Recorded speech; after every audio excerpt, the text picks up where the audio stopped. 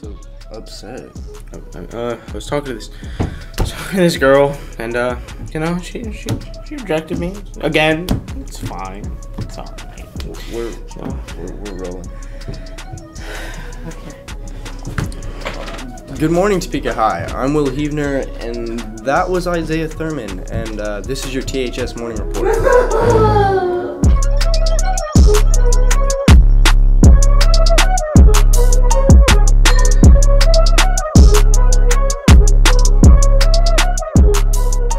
Calling all English honors students. Are you interested in adding other honors organizations to your college application?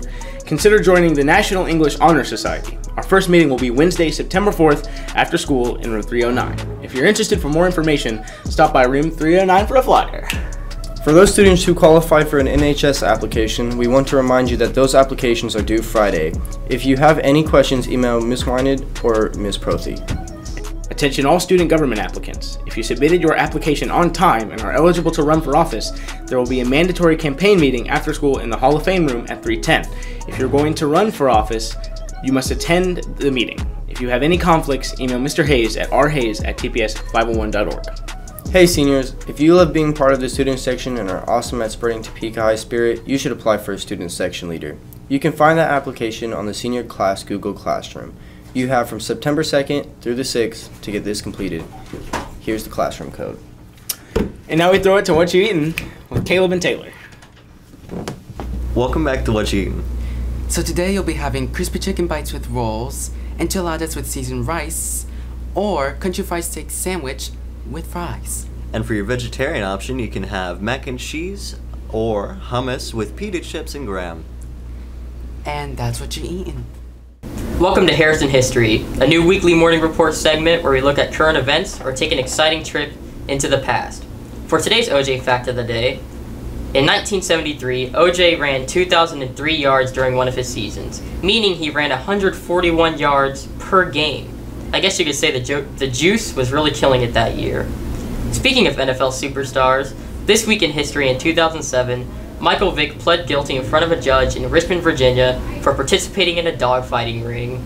That same December, he was locked in federal pris- prison for 23 months. That was Harrison history. Back to the news desk. Club Carnival, one of Topeka High's newest and funnest traditions, is right around the corner. On September 12th, right after school, there will be food, games, a dunk tank, snow cones, and many opportunities for you to learn about all the clubs and how to get involved.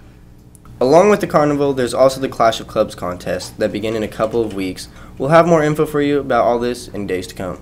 Attention Scholars Bowlers and future Scholars Bowlers. We will be having our very first Scholars Bowl meeting of the year one week from today. Please show up at 3:15 in room 230 on Thursday, September 5th. Interact Club meets today in the dungeon.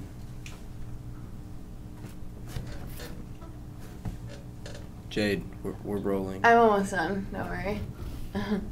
All right, we're good. As I was saying, Interact Club meets today in the dungeon. Come learn how you can get involved in one of our service projects.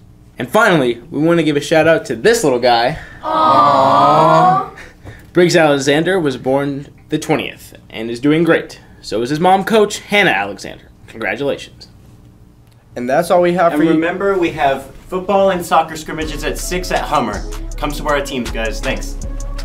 And that's all we have for you today, Pika High. And remember, it's a great day to be a Trojan. And we're out.